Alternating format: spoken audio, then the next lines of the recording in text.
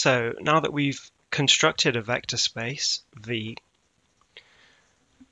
we can just as equally construct another vector space, I'll call it W, and this W being its own vector space independent of V is going to have its own set of vector addition and scalar multiplication options. I'm doing these in different colors now so that we're absolutely 100% sure which vector space we're talking about when we write down vectors or we write down their particular addition or scalar multiplication operation. The vectors in V are completely independent of the vectors in W. It would make no sense, say, to take a vector V from V and a vector W from W and ask, say, what is V plus W? Well, first of all, how can you even write this down? You need to use one of the vector addition operations. So you would either write V plus W with the purple plus or the red plus W. But this is meaningless to write down since you recall that addition was defined as a map from two elements in the vector space back into the same vector space.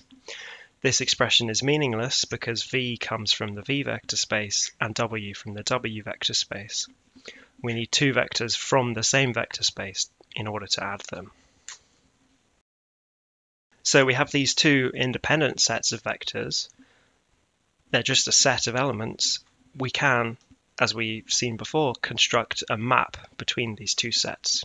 So we could consider constructing a map, I'm going to call it lambda, which takes a vector from one space and gives you another vector in the other vector space.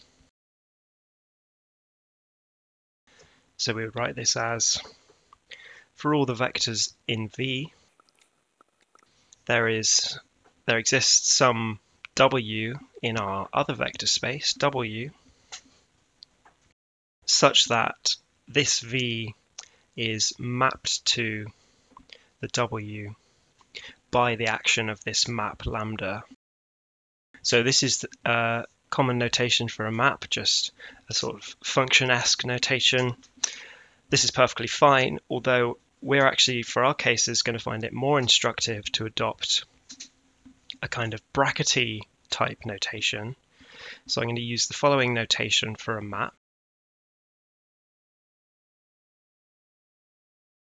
So this, this expression here is equivalent to this expression.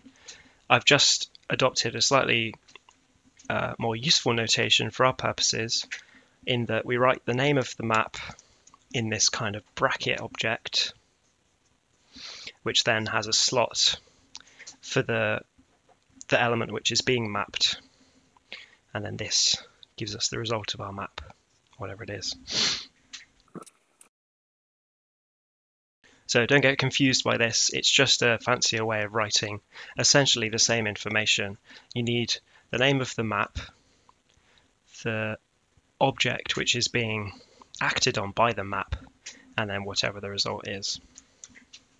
So this gives us a way to relate the vectors from one space to the vectors of another space. The map, of course, we'll have to define concretely in practice. We're just being abstract about how we've defined it now. But in order to make this map a useful map, we're going to need to impose some restrictions on the type of map that we could create. And that is that the map has to be a linear map. So what does that mean? Essentially, given two vectors, now I'm going to be careful with the colors here.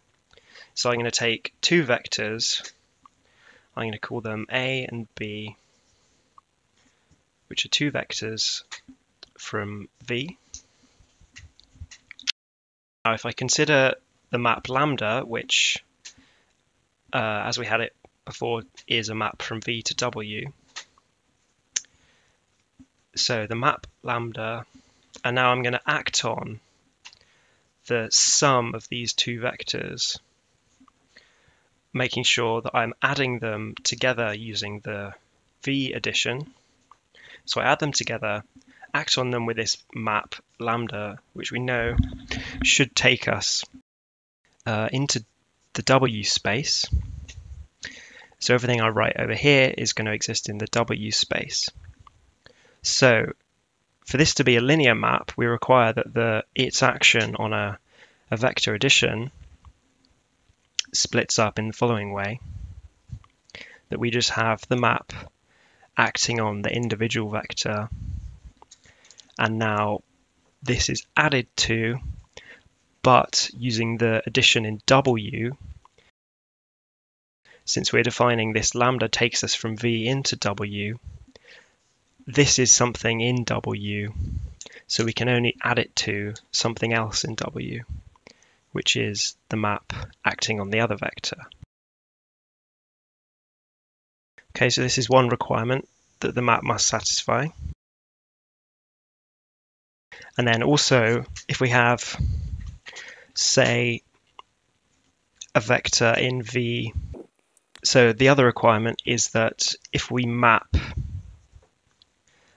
a vector which is a scalar multiple. So I'm going to say lambda times a.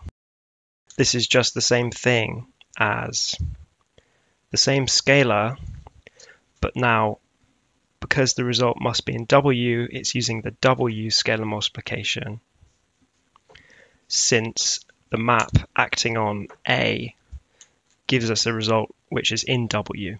So even though the scalar came from V, the result the resulting scalar is acting on a vector which is in W, so we must be careful to use this W scalar multiplication. And I've kind of implicitly here, V and W are both defined over the same field, so it makes sense to write this down. So these two requirements look fairly straightforward and self-explanatory, as long as our map satisfies this, it is a linear map. So again, I haven't told you anything about how to actually construct this map. We're just showing the properties that the map must satisfy. But given that this map satisfies these properties now, it becomes really easy to define or understand how the map acts because we only need to define how the map acts on the particular basis vectors of this space. So if we remember, we introduced a basis of V. So I'm going to call uh, the basis of V is going to be these EI vectors, which means that we can express any vector as the linear combination of such basis vectors. Now, if we consider how this vector will be, will be acted on by the map. Simply by the linearity of the map, we can easily write. So for any vector that you can give me, it will have a certain list of components with respect to each of the basis vectors. Since the map is linear, these components are pulled out of the map, and all we're left with is how the map acts on the particular basis vectors. So this is all we need to define to fully characterize the map for any vector in the space V. We simply need to define how the map acts on the basis vectors. Then, by the linearity of the map, we can compute its result or its action on any vector. So then, if you like, we can call this how the map acts on the basis vectors. We can use this to define or to realize what the basis is on the W space if E is the basis on V, then how the map acts to take that basis into W will give us the, the basis vectors in W. Okay, so what have we actually done? Well, we've constructed a map between the two sets V and W, and now I'm going to start calling this HOM VW, which is simply just fancy terminology for the set of all maps between V and W. And they're not just any maps, they are these so called linear maps, or in the slightly more fancier language, we call these homomorphisms. So, what does this mean? Well, it's just a fancy way of saying uh, a structure preserving map, which means that if we begin with a certain type of algebraic structure, we construct a map that takes us into the same type of algebraic structure. So this HOM VW is the set of all maps which we can create between V and W, which preserve the vector space structure. We start with a vector space, we should only be able to map to a vector space. And the particular type of maps that do that are these so-called linear maps. So the homomorphisms between vector spaces are the linear maps. And now the key point is because these maps are linear in the sense that we can add them and scalar multiply them in this way, this means that the set of all homomorphisms, i.e. the set of all maps between two vector spaces, is itself a vector space. So I'll just repeat that again. So we construct the set of all maps. The maps are these elements which look like this.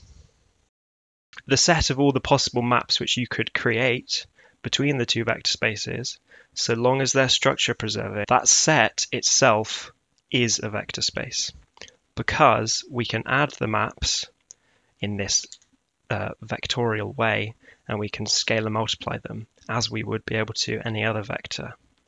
So this is going to be a really key point moving forward. The set of all structure preserving maps between two vector spaces is itself a vector space.